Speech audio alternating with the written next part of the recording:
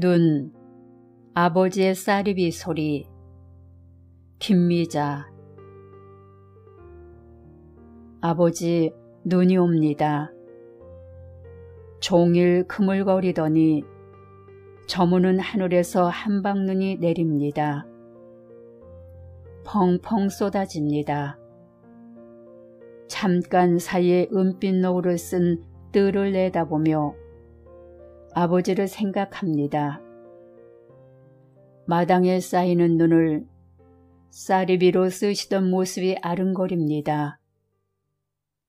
좀 전에 퇴근한 작은 애가 현관에 들어서지도 않은 채 서둘러 손녀를 데려가더니 동영상을 보내왔습니다. 두 팔을 벌린 채 탄성을 지르며 눈 속으로 뛰어드는 네 살대기 여기저기 제 발자국을 마구 찍으며 내달립니다. 빙글빙글 돌며 춤을 춥니다.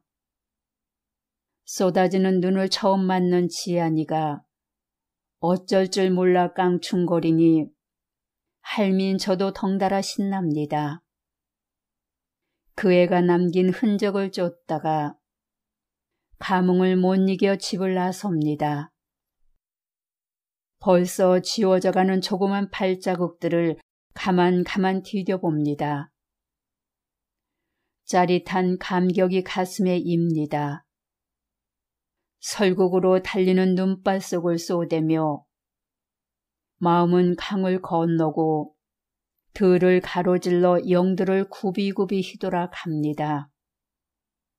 쥐풀은 동해를 우러르고 다시 채를 넘어 눈길에 첫 발자국을 찍던 그날로 돌아갑니다.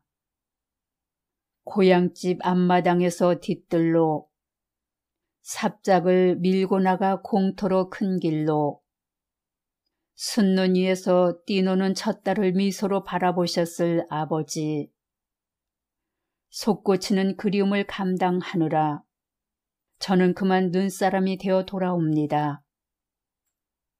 이렇게 눈이 쏟아지는 밤이면 잠 설치며 몇 번이고 일어나 밖으로 나가시던 아버지. 장지문을 열고 대돌 아래로 내려서는 넓은 어깨를 감싸던 서늘한 고요를 기억합니다. 곧 그 고요를 흔들어 깨우는 쌀이 빚을 소리가 났지요. 가뿐하고 힘찬 소리를 들으며 추우실까 감기 드실까 걱정하다가 까무룩 잠들곤 했습니다. 눈이 그치면 첫 새벽부터 길에 나가 눈을 치우셨지요. 그런 날도 여섯 시만 되면 어김없이 집의 문을 죄 열어젖히며 칠남매를 깨우고 대지퍼 대문 밖으로 나가시던 아버지. 기억하시나요?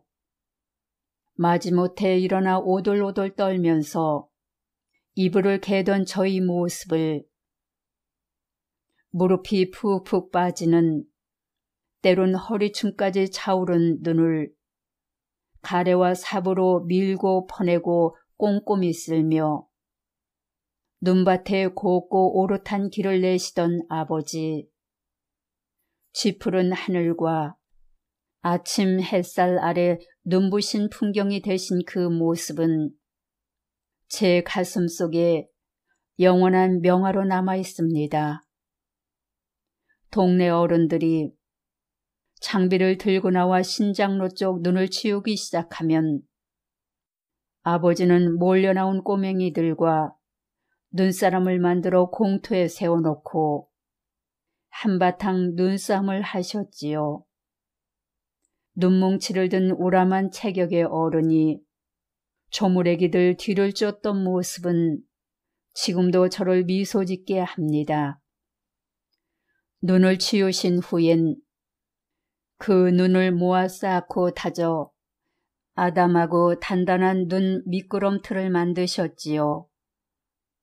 삽으로 홈을 파서 만든 계단까지 마련한 다음 상기된 얼굴, 장난기 가득한 눈으로 주위를 둘러보며 싱긋 웃으셨지요. 그 순간 눈싸움을 멈춘 채 숨죽이고 섰던 아이들이 한꺼번에 내달렸지요. 이리저리 미끄러지고 엉덩 방아를 찌우며 외쳐대던 그 함성 들리시나요? 온 수업을 하셨던 아버지. 사실은 눈이 많이 올 때마다 정선 여량으로 임계로 대형 트럭을 몰고 산판에 간 기사들 걱정에 잠을 이루지 못하셨던 거지요. 간간히 눈을 치우고 쓸며 무사히 대피했다는 소식을 기다리시다. 어찌어찌 백봉령을 넘어섰다고 하는 전화를 받고서야 가슴을 쓸어내리셨지요. 주차장에 눈을 마저 치우고 한밤중에 굵은 체인을 바퀴에 감고 돌아온 차들을 맞으며 환히 웃으셨습니다. 같은 이유로 저희 일곱은 철들기 전부터 눈이 와도 함부로 즐거워하지 못했는데 그 심정을 헤아리셨던가요? 눈싸움도 같이 하고 실컷 지치라고 눈을 쌓아주신 일들 고맙고 자랑스럽습니다. 더하여 당신의 손주들과 기꺼이 함께 해주신 겨울놀이들도 아름다운 추억입니다. 내일은 쌀이비를 장만해 눈을 쓸어보렵니다. 손녀와 눈사람을 만들고 눈싸움도 해야겠네요. 눈밭에 미끄러지며 비명도 질러보고요. 제 중조부 이야기를 해주면 지안이 두 눈이 더 반짝거리겠지요. 밤이 깊었습니다. 눈은 펑펑 쏟아지고 그리움도 펑펑 쌓입니다. 아버지, 창을 열고 귀를 기울입니다. 눈을 치우며 귀를 내시던 아니 길이 되고 이정표가 되어주신 아버지 이 한밤 어디쯤에서 눈을 쓸고 계신가요? 멀었다가 가까워졌다가 도로 아득해지는 그 소리를 기다립니다.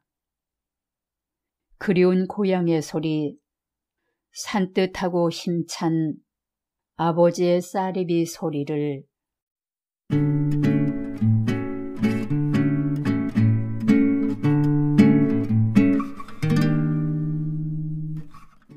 한국수필의 플랫폼 한국수필 채널에서는 아침을 여는 수필 시리즈를 통해 작품을 소개하고 있습니다. 김철호 이명옥 수필가가 진행하는 본 프로그램에 자신의 작품을 소개하고 싶은 분은 작품과 연락처 프로필 등을 이메일 kc0377 네이트닷컴으로 보내주시기 바랍니다.